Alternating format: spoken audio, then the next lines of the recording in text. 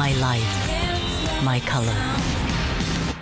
Nguyễn Quý Đức là phát thanh viên, nhà văn, biên tập viên và phiên dịch viên người Mỹ gốc Việt.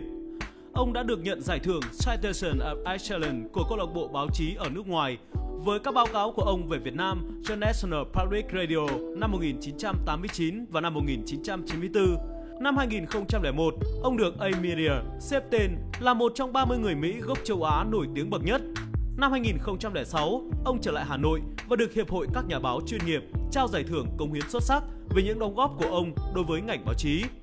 Không chỉ chủ nhân mà căn hộ của nhà văn Nguyễn Quý Đức cũng khá nổi tiếng. Sự yên tĩnh và gợi cảm hứng sáng tạo là cảm giác mà căn nhà này mang lại. Và còn điều gì thú vị? Hãy cùng MC khám phá ngay bây giờ.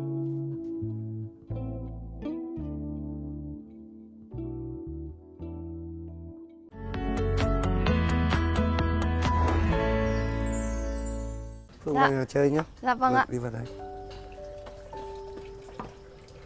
Phương đi lên đây có khó không? Có tìm nhà có khó không? Dạ, thật ra thì ngôi nhà này cũng khá là nổi tiếng bởi vì là cháu đã biết nó qua khá là nhiều những bộ phim rồi nên là tìm thì không phải khó lắm. Ờ, đây là ngôi nhà mà chú xây cho mẹ của mình đúng không ạ? Lúc đầu tiên là chú xây nó như một cái nhà ba gian của người Việt Nam mình nó có ba gian ở ở, Dạ. ở giữa hai bên là bếp với lại một cái phòng ngủ bé thôi. Thì cái thời đấy mẹ chú cũng ở đây vì mẹ chú cũng sống ở Đà Lạt rất là lâu. Thế là xây cái nhà này với một cái ý tưởng là có được cái thời tiết nó giống như là ở Đà Lạt. Bà ở trên này cái thời gian nó, yên tĩnh hơn thì lên đến đây mình sống với bà thì có những cái ký ức của những cái năm cuối cùng cuộc đời của bà.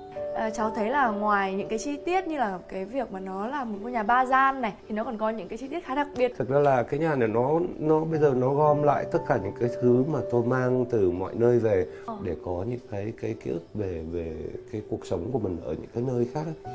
thế còn trên này thì nó bắt đầu là một cái nhà gỗ một cái nhà của Việt Nam thì sau này tôi mới xây lên cái tầng 2 để có chỗ để tôi viết lách làm việc dịch thuật hay là viết lách gì đấy thế còn ngoài ra thì tôi làm nào để cho nó có được một cái đường thông thoáng nó có gió từ trên xuống ở trên ở trước ra ra Dạ. sau gần như là gom tụ lại những cái cái bát đĩa của Việt Nam từ đời xưa hay là từ mới đây hoặc là một cái gạc tàng một cái đĩa tôi mang từ bên Nhật về một cái gạc tàng mang từ Phi Châu về một cái tủ sắt mà tôi cùng làm việc với các bạn thợ sắt tôi làm thì nó là một cái ức của một cái thời tôi mới về Việt Nam là một bức tượng ở một cái nhà của một cái người ở Thái Lan nhà sưu tập ở Thái Lan hoặc là một cái cái bình trà mà tôi giữ lại từ năm 89 từ năm lúc đầu Wow. tiên tôi về Việt Nam nó là những cái ký ức cái kỷ niệm của những cái thời gian mình đi lại mình sống cái nhà này thì để đây để mình sinh sống ở đây mình ờ, và thoát khỏi cái ồn ào của Hà Nội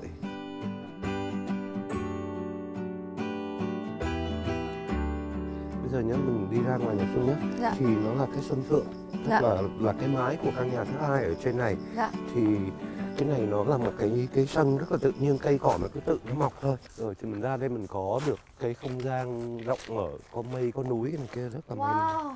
Đứng ở sân thượng mình có thể nhìn thấy toàn bộ núi này, mây. Đấy, Ờ, và đây lại còn gần rất là nhiều những cái địa danh nổi tiếng ở Tam Đảo nữa. vâng Dạ. người mình thì thích xây nhà cao chứ còn ở đây mình xây mình giữ cái sân thượng như này là cao nhất để mình vẫn có được cái tầm nhìn và mình nhìn được từ trên ở trên kia mình nhìn xuống Dạ. mình cũng không choáng cái tầm nhìn của người khác ấy. Dạ. thì ngay ở trong nhà mình cũng có cái tầm nhìn như thế Bây giờ thì mình sẽ xuống thăm Xuống cái, cái nhà căn nhà thứ hai được không ạ? vâng Dạ. Dạ. Dạ. cái này là một cái kim tự tháp nó trong suốt để Ờ. mình xuống nó nhìn thấy được cái vực ở dưới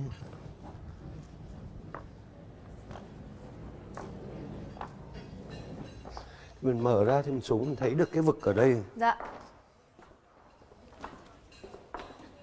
Không gian này nó lại khác hoàn toàn so với không gian ở những trên kia. cái nhà này nói chung nó là đơn giản để làm Dạ. thế nào mình có được cái tầm nhìn ra cái vực ra nước ra Ờ. mây thế thì cái nhà mình xây bằng đá là là cái vật liệu của cái người dân ở đây họ dùng cái đá này rất nhiều Tức là nó đơn giản Dạ. nó không cầu kỳ nó không tốn phí nhiều Cháu còn nghe được đồn là ngôi nhà của chú gọi là ngôi nhà trong suốt bởi vì rất là nhiều kính. kính để mình nhìn ra được cái gì nó xanh nếu mà giữ được cái cây xanh gió mát rồi mình giữ được cái tầm nhìn của mình qua núi qua mây thì nó đẹp biết bao. Cái nhà này phương nhìn thấy nó là một cái không gian mở mà nước ở ngoài nó chảy vào trong nhà nó như là cái dòng suối từ trên nhà trên nó chảy xuống nó chảy qua đây. Thì nó là cái dòng suối nó chảy ra ngoài nó lại chảy xuống xuống núi. Cái Ờ. phương ra ngoài này thì thấy nó ở đây thì nó có một cái phần trúc nước thì nó là của của cái ảnh hưởng của Nhật ấy. còn bên này là đá thì là nó có một phần nào cái ảnh hưởng của vùng miền Bắc châu Phi nó cũng là nhà đá mà ít ít cây cối Dạ. thế còn đấy là một bức tượng của một người bạn ở trong Sài Gòn chị Nguyễn Thúy Hằng nó là những con người hình thù hình thái bị biến thể đi phải chịu đựng qua thời gian không gian này nó rất là thiên nhiên, nó nghe được tiếng nước chảy róc rách rồi tiếng chim hót. Liệu đây có phải là cái không gian mà chú rất là ưa thích không? thì mình có thể ngồi đây mình đọc sách mình viết lách mình trao đổi nói chuyện uống trà uống cà phê gì đấy thì nó nó rất là tự nhiên. Tự nhiên mình sống như là sống trong một cái bài thơ. Cái câu thơ nó dìu dắt mình cái nhà nó cũng dìu dắt mình. Con nhện nó xây cái nhà hay nhất là cái màng nhện nó xây ở góc nào nó cũng xây được góc nào nó cũng có một cái chỗ để nó trú được, mà nó chịu được gió, mưa, nắng, sương, thì mình làm nào cái căn nhà của mình nó cho mình những cái cơ hội để nó tạo dựng cho mình cái dịp để mình sống kiểu này, kiểu kia không bắt buộc.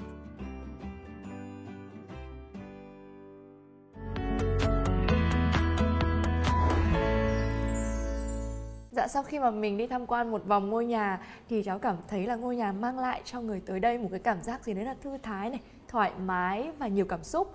À, chú luôn chọn một không gian mở rồi không có sự ngăn cách nào trong ngôi nhà cả.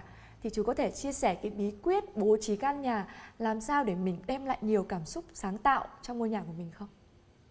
tôi hay suy nghĩ là tại sao mình không sống như mình sống trong một cái sân khấu uh, của một cái vở kịch tức là nó không có nhiều thứ quá nó chỉ có đúng những thứ gì cần thiết nhất cho cái vở kịch cho cái màn kịch đấy.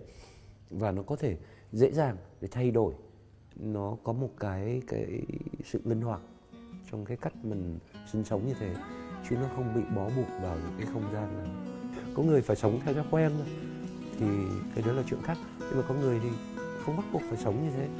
À, tính tôi có khi bừa bãi về thì vứt áo vứt quần ở đấy là cuốn sách đang đọc thì để đây lại đọc cuốn sách khác thì lâu lâu lại nhìn thấy ơ cuốn sách này đang đọc giờ thì cái câu chuyện nó là ở đâu thì, lại tìm về cái câu chuyện này Cái cách mà chú truyền đạt đó là mình ở một ngôi nhà mà mình được sống là chính mình.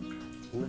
Dạ. tức là mình mình không đi ra ngoài mình tìm đến một cái tiệm bán hàng nội thất mình bê một cái ghế về như thế nào mình làm như thế còn cái này mình giữ được cái cá tính của mình À, xin cảm ơn những chia sẻ rất là thú vị của chú trong chương trình Sắc màu thời đại và chương trình có gửi đến tặng chú một à, chiếc cúp lưu niệm của chương trình ạ.